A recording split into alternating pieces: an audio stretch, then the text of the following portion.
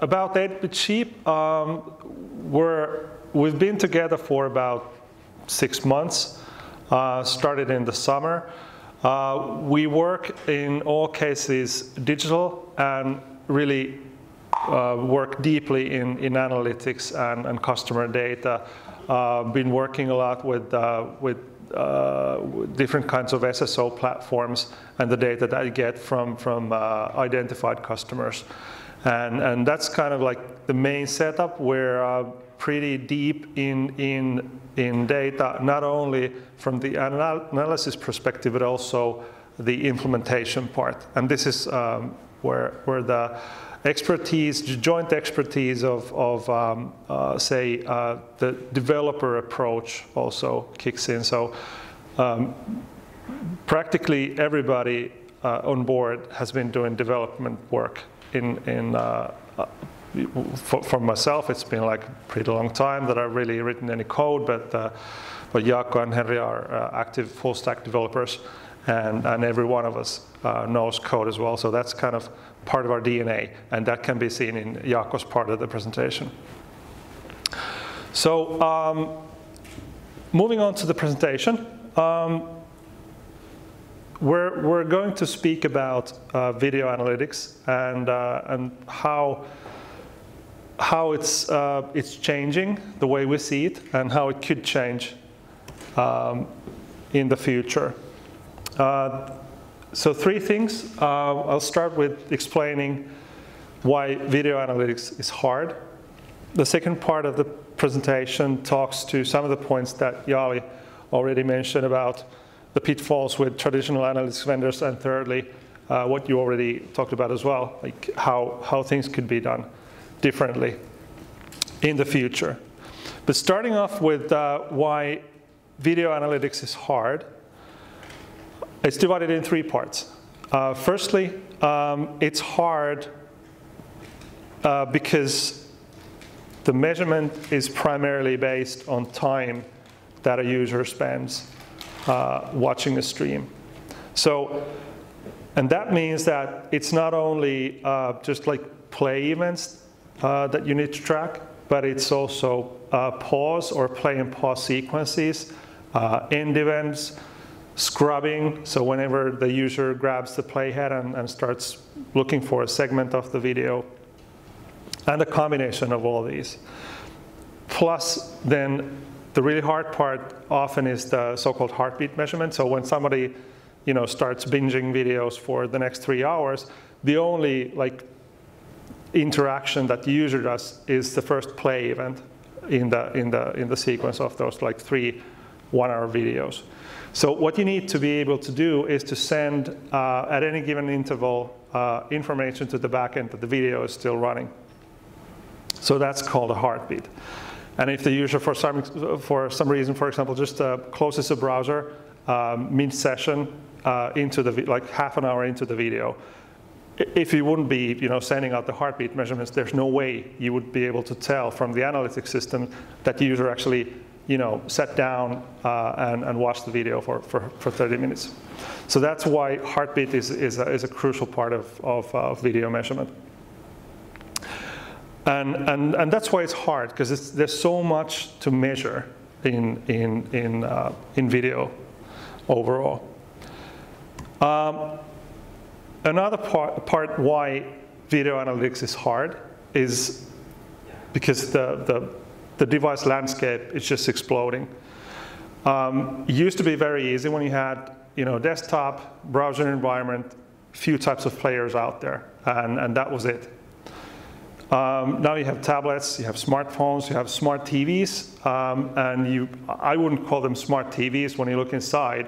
The firmware and everything is pretty, you know, it's nasty.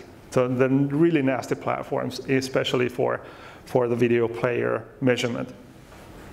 Um, and, and, and soon you will be able to watch videos on your toasters and your refrigerators, whatever, so it's gonna be just, you know, the problem's gonna expand.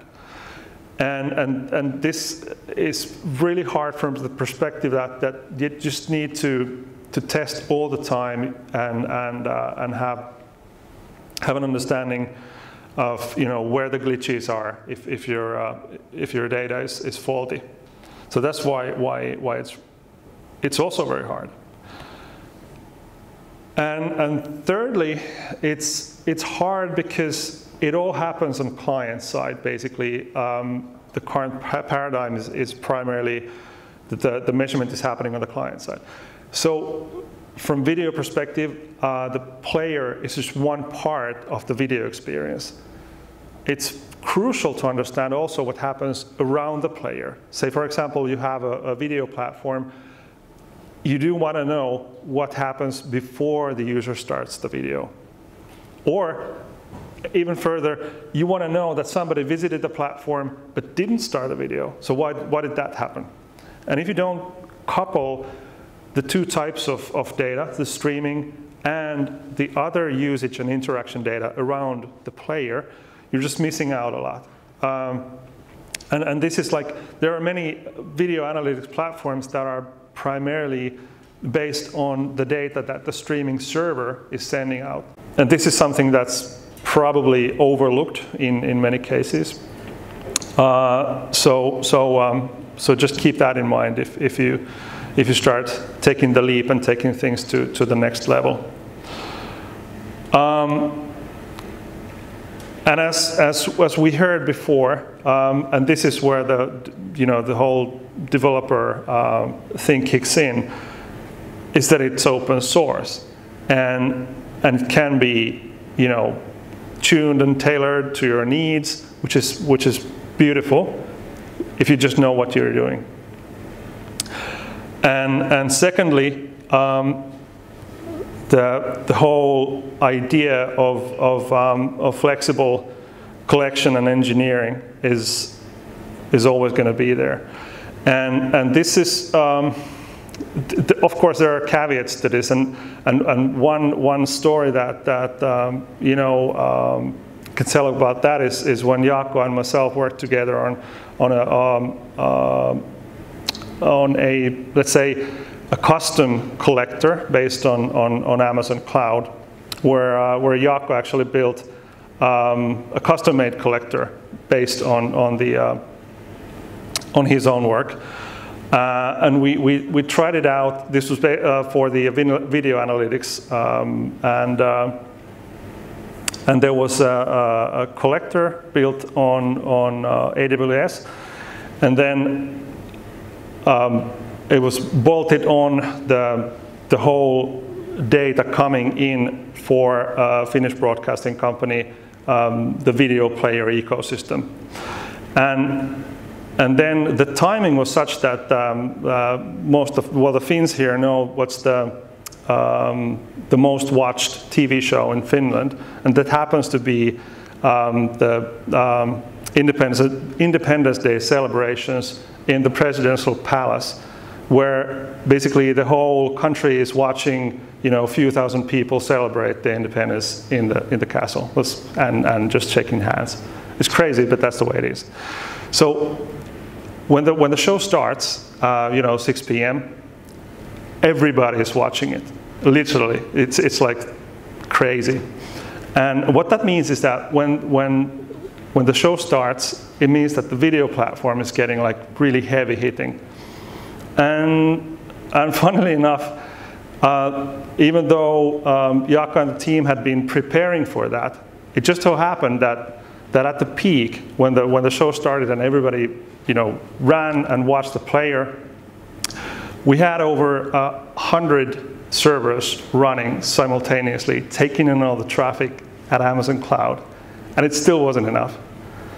So basically, the, the learning from, from that was that, you know, um, it was a, in a big picture, it was a minor glitch, but had we had at that time uh, all this technology helping us, we, you know, we might have gotten through it in, in like a, in a, in a um, like gracefully, but uh, we had a few, few late night calls and chats that, that night, but uh, all in all, it went, went okay. But, but just to, to point out that, that, you know, even though you can write everything yourself, it's not always basically uh, a good idea. So, so uh, use uh, ready-made stuff when you can, obviously.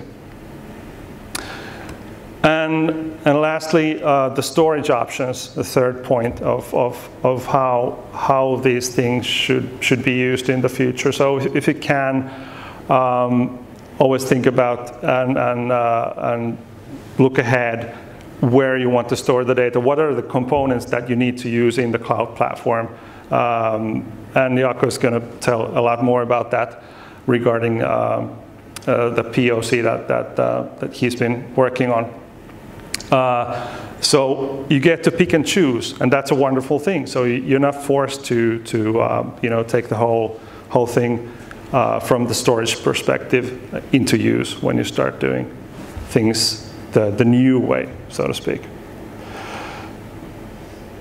So that was my part of the, um, of the presentation. Moving on to, to, uh, to Jaakko now. I've been working quite a long time with analytics and I wanted to come up with a case that I like haven't been able to, to do with the traditional web analytics tools. And real-time video analytics was one.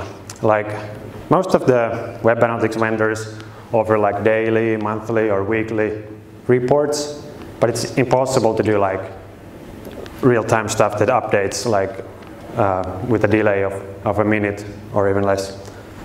Um, in the past, I've done like uh, stuff that queries the APIs and take like like what are the most watched videos in this platform, and then you can make a like list sorted on that. But usually that like updates once in an hour or a couple of times a day or or something like this. So if you wanted to make like a website that shows concurrent uh, watchers or viewers, like uh, Twitch.tv does, uh, you can see that the games are ordered by the number of viewers. Like the day that I took this screenshot, World of Warcraft had the most viewers and was like ranked number one on the on the browsers on the games uh, list. And then there's a uh, crazy good game called IRL that was fifth there. And in the IRL, there were many streams that were also ordered by the number of viewers, like this has uh, 4,000 viewers and this has 3,500 and so on.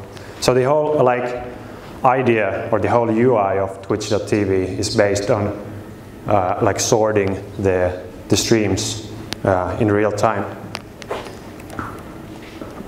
And next, uh, like I would like to tell you what I learned uh, on this experiment and how I did it.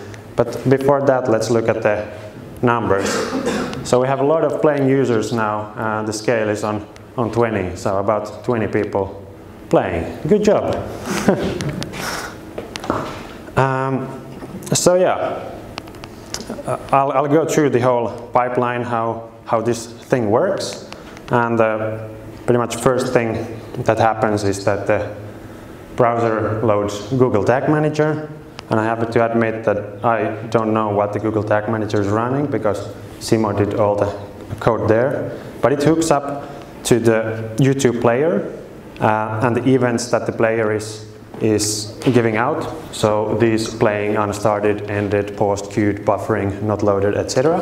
And it passes those to the Snowplow, track, Snowplow tracker.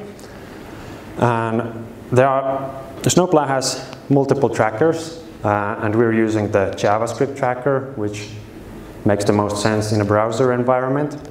And yeah, it, we use it to, or anybody would use it to uh, send the events from the browser to the Snowplow collector, which uh, we are running in, in Amazon EC2, uh, just having a one instance there collecting the data that has been sent by the uh, by the tracker. Oops, I think I have a typo there. It says by the collector. Well, um, and there are many, or I think there are three different collectors available uh, in the Snowplow stack, and we use the Scala stream collector uh, because that is, is a good way to get the data fast and push it to Kinesis stream. And Kinesis is just a AWS service uh, that you can use to like move the data from one service to another in a, in a streaming fashion. So it goes very fast and you don't need to wait for an hour or so. Um, and in the Snowplow collector terminology, it's a sink where, where the data is sent. And then the stream is being read by Snowplow Enricher, with, which uh, validates and enriches the data. Um, we're not actually enriching the data in any way, but if, I, if we had like some metadata about the video, like who made it or when it was published or some kind of categories or whatever, we could, for example, enrich them here in the enricher. And we're using a service called Stream Enrich, and basically the, or why we're using it, we're converting the data to JSON, which can then be used later on. And the next step is to push it to Kinesis stream again. So it's just the same stuff that moved the data between collector and enricher, but now we're uh, moving it between enricher and the Kinesis Analytics. And the Kinesis Analytics is, uh, is a service where you can run SQL queries on the stream data. And that was like something we really wanted to try in this proof of concept because none of us had used it for anything. Uh, but I'll tell a little bit more about that soon. Uh, the next step after the Kinesis Analytics is the AWS Lambda, uh, which is basically function as a service in, in the cloud. And we're just using it to uh, write the late, latest uh, data from the stream to S3 and S3 is, as many of you probably know, it's a, just a file storage, like an FTP server, where we store the latest aggregated data. Um, so yeah, um, maybe I should say one more word about the Kinesis Analytics, that that is actually the part where we like uh, aggregate all the rows of events uh, to the different groups. What happened to the computer? Oh, well. Um, but yeah, uh, then how did it all go, like in retrospective? Um, this is an interesting setup because the, the, the history of the data is, is not stored. Like there's only the, the latest value, but the history is not stored. There's no database, uh, nothing like that but still it works. And the, the data has delay of about two minutes. That was kind of what I was hoping for, but we also had a setup where the delay was about 20 seconds, but it had some issues, so we didn't end up using that one. But it would be really nice to uh, get a solution with the like 20 second delay.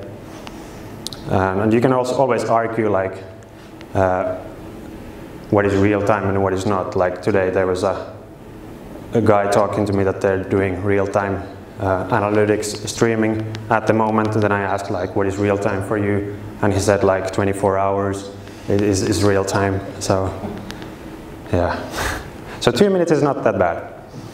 Um, but yeah, the, some of the issues that that I wanted to talk about, especially with the Kinesis analytics, is that we just wanted to like take the data out of Kinesis Analytics and save it to S3 and Lambda seemed to be pretty much the only way to do this. But we had so much issues. Uh, we tried to debug with, with Simo how to get this working right. Like there were many instances like we were getting the data in our debuggers, everything seemed great, but then on the website there was uh, wrong and different data.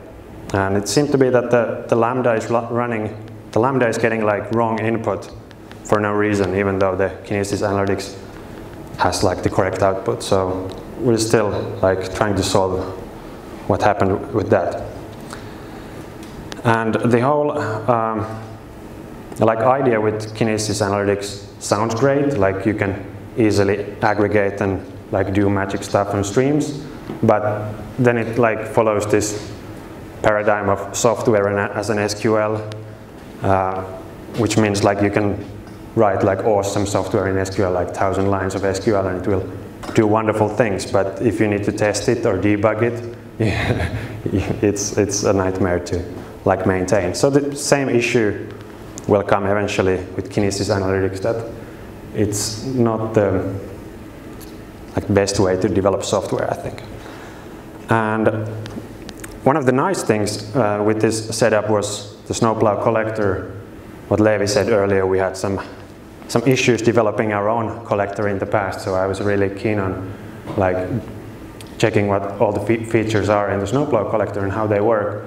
And I was happy, like, like it had buffering uh, before data was sent to Kinesis streams, and, and a lot of the features that like we had learned that you need to have in the collector. So that really made life easy and, and like setting up the collector needed like three or three to five minutes of configuration and was really a nice process compared to the like three or five months of coding that I did with the previous collector and losing like a lot of data in the process.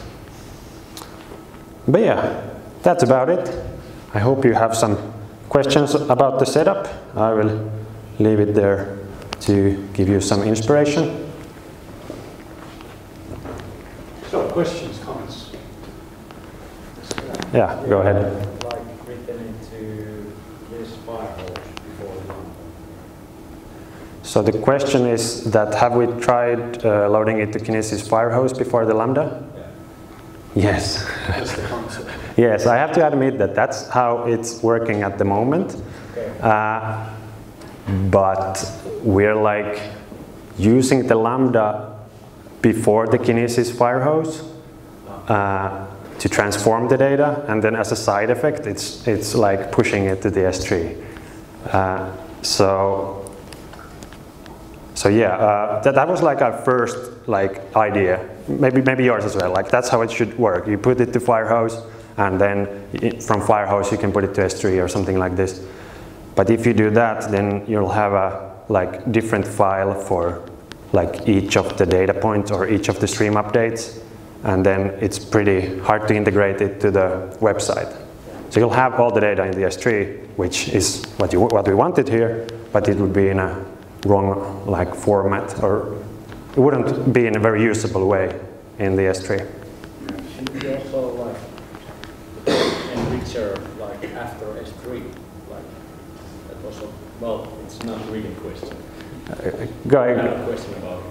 Yeah. Okay, you could use like enricher after the S3. It was that Yeah, why do you need this enricher before aggregate? ah like Yeah. why is this? Uh, because of the third point, it converts the data from this format called thrift. Um, I hope I'm pronouncing it right to JSON, and Isn't thrift like like a, what what is that? Thrift. yeah, I'm, I'm not qualified to answer that. Anyone?